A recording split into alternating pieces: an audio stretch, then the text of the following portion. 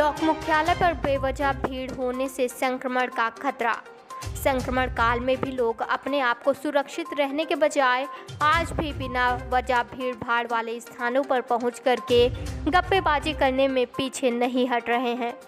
अगर देखा जाए तो जहाँ पंचायत चुनाव की मतगणना को लेकर के ब्लॉक मुख्यालयों पर फिर से सरगर्मियाँ बढ़ने लगी, वहीं मतगणना एजेंट पास बनवाने के लिए जहाँ कुछ प्रत्याशी ब्लॉक मुख्यालय पर पहुँच रहे हैं तो वहीं कुछ लोग केवल ब्लॉक मुख्यालयों पर बिना वजह ही पहुँच करके कुछ लोग भीड़ लगाने में भी लगे हुए हैं।